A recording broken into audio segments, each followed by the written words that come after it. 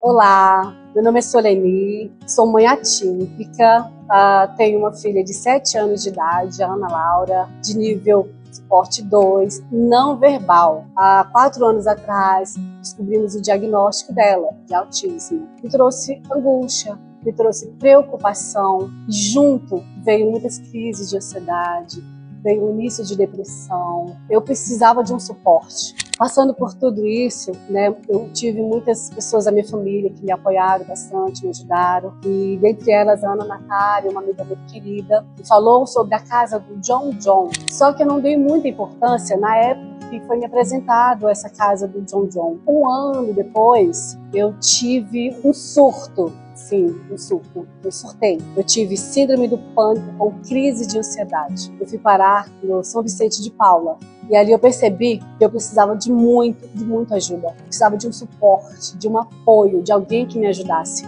Aí então, pela segunda vez, me apresentaram à casa do John John, né? A psicopedagoga Camila, que acompanha minha filha. Ela me falou que aqui seria bem acolhida.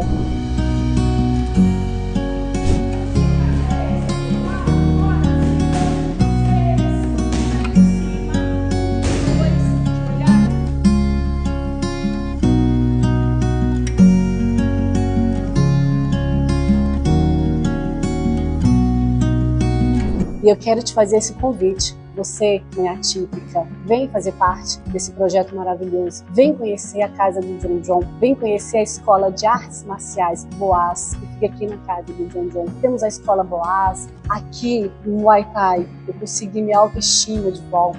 Aqui no Muay Thai, eu consigo me concentrar. Aqui é o meu remédio. Eu não preciso mais de medicação. Enquanto eu faço meu treino, a minha filha ela é bem cuidada. Temos uma brinquedoteca e temos voluntários para cuidar dos nossos pequenos enquanto a gente está treinando. A gente fica despreocupado, é o nosso momento.